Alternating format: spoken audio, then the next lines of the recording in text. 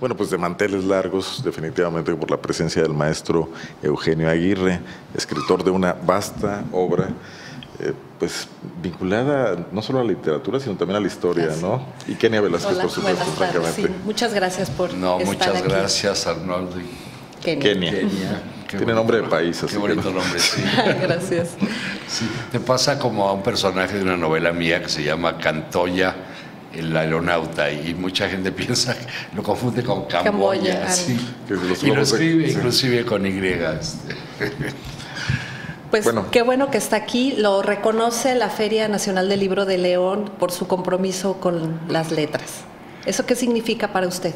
Bueno, me, estoy muy gratificado, muy honrado con este, con este reconocimiento, porque sí, efectivamente, pues tengo 50 años eh, escribiendo novelas, cuentos, ensayos, y ha sido una entrega apasionada, intensa, eh, con un compromiso profundo y, total eh, por la literatura eh, mexicana. Siempre he admirado a, los escritores mexicanos que, han creado obras extraordinarias como Juan Rulfo, como Juan José Arreola, como Carlos Fuentes, como Jorge Ibargüengoitia, como eh, muchos. Bueno, la lista es... Paz. es- eh, Paz, sí, también. Con todo y todo. Lo concederé, lo concederé con cierto retortijón.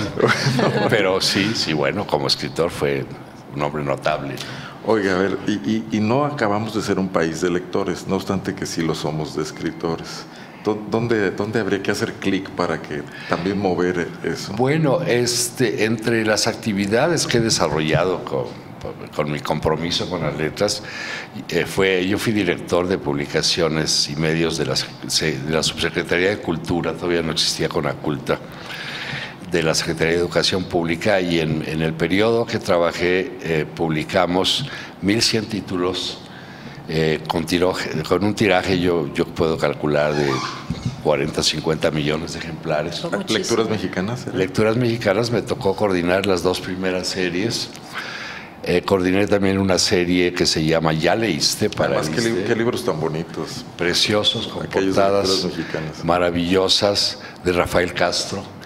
Eh, fue un proyecto excepcional, y, pero los libros se agotaron. Esto es lo, lo Se vendían importante. en los puestos de periódicos, era también el tema, no solo en las librerías, ¿no? Así es. Y los de Liste se vendían en cinco pesos en las tiendas de Liste y agotamos dos millones de ejemplares en, en semanas. O sea, eh, sí hay una, una ausencia de, un público lector evidente, pero también hay sectores sociales que son eh, lectores ya eh, eh, destinados a, a, a leer libros toda su vida, pero quería hablarles, se crearon en ese periodo los rincones de lectura, por ejemplo. que siguen. Que siguen actualmente con, con Marta Acevedo y con Felipe Garrido. Se crearon las bibliotecas de aula, que no sé, no sé si continúen, espero que sí. Eh, se hicieron esfuerzos notables y yo he trabajado mucho en proyectos para el desarrollo de hábito de, hábito de la lectura. Los resultados son todavía menores, no hemos alcanzado los niveles, pero hasta donde sé estadísticamente sí ha habido un, Un aumento. un aumento en el número de lectores del país y yo, yo presumo que esto irá aumentando eh, paulatinamente hasta que alcancemos una media que, que sea, digamos, aceptable. ¿no? Maestro, hay mucha discusión, le voy a hacer una pregunta incómoda, porque es invitado de la Feria del Libro, pero es en torno a las ferias de libros. ¿Sí eh, ayudan a que haya más lectores? ¿Si realmente difunden la lectura o solo es un gran puesto de libros? No, no, no, claro que, claro que, que- que apoyan el, el hábito de la lectura. Mira, la FIL de Guadalajara es la segunda feria más importante del mundo después de la de Frankfurt. Frankfurt, por encima de Buenos Aires. ¿eh? por encima de Buenos Aires y de Madrid y de, y de otras plazas importantes. Y ahí yo he visto como la gente entra, entran multitudes de gentes y todos salen cargados con libros. Sí. O sí, sí ayudan, sí apoyan a la lectura. Espero que aquí en León suceda lo mismo, porque ya lleva 26 años esta feria, o sea, ya es una feria con Ya el hecho de que dure, haya durado tanto me parece que es bueno. Es por, algo, y, se hacen eh, ferias en Mérida, se hacen en Zacatecas, se hacen en Oaxaca, o sea, sí están sirviendo, sí están apoyando el, el hábito de la lectura porque también es muy importante que la gente se vincule con, los libros como objeto eh, de arte, como algo tangible que pueden tocar, que pueden paladear, que pueden eh, acariciar las portadas, que pueden ver los, colores de, los, de, los, de las portadas, de los, los títulos son muy sugestivos. Ahí está también vinculación epidérmica con el libro, que es muy necesario y que ahora tenemos que pelear para que no nos gane esas, esa, esa parcela, digamos, la electrónica. Pero a lo mejor no hay que pelear, ¿no? No, yo creo que hay que sumar. Hay que hacer un matrimonio ahí, medio bien avenido, aunque sea. Y, mucha gente lee por libros en papel y cuando está de viaje por razones este, eh, de casuística, eh, compran los libros en, en ebook y y los leen, pero todo lo que sea destinado a la lectura, todo lo que se lea, aunque sean cómics, aunque sean novelas de vaqueros, aunque sean eh, panfletos, todo sirve, porque ayuda a las neuronas. Nos hace conocer otras vidas. Exactamente. Oiga, y Viene usted ahora, esta es su nueva obra, Templo de Sangre. Es la más reciente, sí. Donde, donde una pirámide este, bueno, nos sitúa en ese tema de que, de que somos un, país con tradiciones este, violentas. Sanguinarias. Sanguinarias. Sí, pero se refiere a una situación actual. Eh, sí, este libro es, eh, eh, transcurre en dos historias paralelas. Una que tiene que ver con, el, con los sicarios de, de los cárteles del narcotráfico actuales, actuales con, que tiene que ver con el, la liturgia de la Santísima Muerte, que tiene que ver con Jesús Malverde, que tiene que ver con el mundo del, del, crimen organizado, pero al a nivel de los sicarios, porque nosotros nos enteramos por las noticias de la cantidad de muertos, de degollados, de descuartizados, de encementados. Y ya nos habituamos. Y ya nos habituamos, los quedamos indiferentes. Y en cambio, eh, eh, y no, pero no sabemos quiénes son estos sicarios, qué, qué piensan, cómo se comportan, cómo viven, de dónde surgen, por qué se especializan. ¿Y cuál es la intención al provocar esta violencia terrible eh, que nos deja descorazonados, ah, desafortunadamente, como bien decías, Kenia, por 30 segundos y después se nos olvida? Entonces, lo que yo voy narrando es la historia de un sicario, Pedro Chimali, que es un freelance que, se, dedica, se alquila y sirve a muchos, al cártel que lo contrate, y es experto en degollar personas. Es de una fineza asombrosa, tiene prestigio, es un hombre respetado en ese terreno.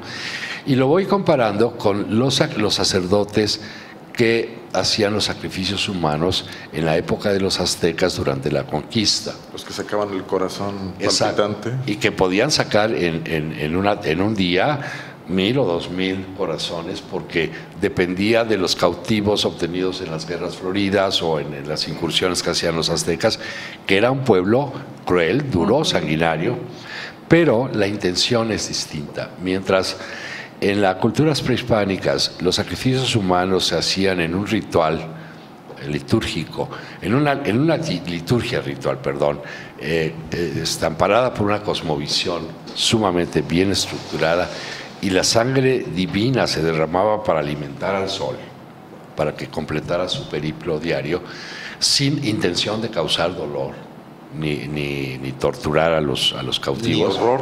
Ni horror. Entre los sicarios. Creo que era para evitar el horror, ¿no? Porque era el tema de un fin del mundo. Exactamente, era para evitar el fin del mundo. En cambio, entre los sicarios sí hay la intención de provocar dolor, porque son asesinatos por venganza, por eh, disputas territoriales, por disputas del tráfico de las drogas. Para enviar mensajes. Y para enviar mensajes con los narcomensajes. Ahora, las dos historias se van entrelazando para que el lector tenga la forma de comparar el comportamiento de unos y de otros y me sirve para darle una visión eh, profunda, muy puntual, del mundo prehispánico, de la vida cotidiana de los aztecas, cómo vivían, qué comían, cómo se vestían, qué festividades tenían, etcétera, que eso tiene una intención didáctica para que el lector aprenda todo esto que está en los, en los que, que, no está eh, completamente bien explicado en los textos de historia. Y por otro lado, voy entrelazando la historia de, suerte que en, en, en, un momento el sicario, Pedro Chimali, visita el Templo Mayor y se encuentra de frente al Wait, eh, Wait eh, que es esta estructura que se armaba eh, eh, con cráneos, espetados en lanzas este, para, para, para ir conservando. No se preocupe. Sus, este, sus uh, tradiciones. Bueno, en los Zompantlis, eh, nos dice Bernardino de Sagún, que había siete en el recinto del Templo Mayor y que había ocasiones en que eran 10.000 o 20.000 cráneos espetados en estas varas, en lo cual habla de la, de la magnitud de los sacrificios humanos de la época. Y cuando Pedro Chimali conoce el Templo Mayor y, ve el, el, el dice, bueno, los sicarios, los, capos de los cárteles, la Tuta y los Z40, son muy tontos porque están desperdiciando los cráneos, los tiran a las zanjas, a los basureros, a las fosas comunes deberíamos de hacer pantlis. Entonces se obsesiona con la idea de hacer pantlis y ese es el, digamos, el meollo de la historia que no les voy a develar hasta porque prefiero que lo lean en el libro. Claro. Pero, pero es, es interesante, digamos, esta aproximación a la muerte y a la sangre y a la, a la crueldad de los sicarios y a la religiosidad de los sacerdotes. Entonces, bueno, pues usted un poco la, idea es, traemos esa parte, esa vena violenta. Podríamos presumir que hay cierta genética, ¿verdad? La pero es la genética del ser humano. El culto a la muerte también es prehispánico, ¿no? Nosotros somos, jugamos con la muerte. Somos la, yo creo que la, la única cultura en el mundo que nos solazamos y hacemos calaveras y hacemos canciones y hacemos calaveritas de dulce que nos comemos y hacemos pan de muerto y celebramos el Día de los Muertos. O sea, tenemos una vinculación con la muerte muy íntima que viene de nuestras culturas prehispánicas. Porque en, tanto los, los nahuas como los mayas tenían una vinculación con la muerte muy, muy eh, profunda y muy bien definida, ¿verdad? Aunque no habría que llegar al extremo de justificarlo. No, no, pero siempre... Digo, en, cuestiones históricas, pues, de este asunto de que así somos, ¿no? Siempre una visita por el Mictlán, que, es el, que son los planos del inframundo entre los nahuas, pues es muy interesante. Equiparable al viaje que hace, que hace Virgilio eh, al mundo de, del infierno llevado de la mano de Dante, de Dante ¿verdad? o Odiseo al, también al, mundo de los muertos. Al mundo de los muertos, sí. Oiga, pero entonces ya la realidad que vivimos en México también se está viendo en nuestra literatura. Sí, con este tipo de historias. Quiero, quiero ser muy específico que no se trata de una narconovela, no es una narconovela, es una novela histórica que, que trata estos temas de, de, de, la proclividad a la sangre, de los sacrificios, porque los capos están replicando muchas de las formas de sacrificio humano usados por los aztecas. Por ejemplo, el, Z40 acostumbraba o acostumbra, no sé si esté vivo o esté muerto, eh, abrirle el pecho a sus enemigos, sacarles el corazón y comérselo. Hoy, eso sucede hoy, no estamos hablando del pasado, sino esto sucede hoy y es asombroso, ¿verdad? Pero como tribal también, ¿no? También nos, nos, retrae mucho, pues, en la historia. Digo, no era, no era solo los aztecas lo que hacían esto. No, y, luego los, los zompantlis, o sea, una versión de los zompantlis, pues son los colgados en los puentes peatonales, ¿verdad? Cuelgan los cadáveres con sus ¿Y no quiere que estamos atados a un pasado y que no podemos salir y convertirnos en un país moderno? ¿O tenemos que purgar eso? No, yo creo que saldremos a, seremos a un país moderno, un país civilizado. Ya, no sé qué quiere decir eso, porque cuando uno ve lo que pasa con Trump... este, seremos un, pueblo civilizado en ese sentido, en el momento en que logremos controlar nuestros instintos y nuestros impulsos eh, animales que, traemos. En, y bueno, y que se resuelva la corrupción, la impunidad y otros tantos pendientes. eso ya son, ya son delitos de cuello blanco. comparados que todavía no merecen una novela, salvo las de Spota. No, sí, sí merecen, sí merecen novelas. De hecho, yo he escrito una novela que, es, eh, que, que, ha sido muy, muy atractiva, eh, que se llama El abogánster. Ah, sí. El abogánster, donde trato eh, todo el sistema de corrupción del sistema de impartición de justicia en México, a través de un personaje que existió. no, existen muchos. Que fue, fue Bernabé Jurado. Sí, pero él fue el primero que fue catalogado como abogánster mediante un ensayo que hizo Carlos Monsiváis, muy puntual de, del personaje. ¿no? sí, por supuesto que hay proliferaron los abogantes, o sea, estamos llenos de abogantes. Y bueno, a los que les guste la historia, el thriller, ¿dónde, a qué hora lo podrán escuchar hoy en la Feria del eh, Libro? hoy se dirá autógrafos y todo eso. Sí, se va a presentar a las 8 de la, de la noche en... Ahí en, ¿En qué sala? En alguna sala de. Sabemos todavía. En alguna sala. en, la feria del libro no es complicado. Después del homenaje que le, que le van a hacer de la inauguración, será. Será la presentación, sí, donde podremos platicar de, de este tema.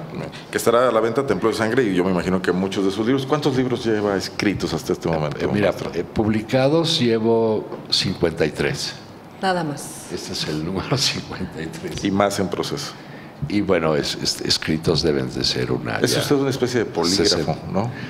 Pues sí. Por, la cantidad de géneros. Sí, he, trabajado ensayo, he trabajado este, cuento, he trabajado eh, muy poquita poesía. No me puedo sentar como poeta, que es el, alto, el grado más alto de la expresión literaria.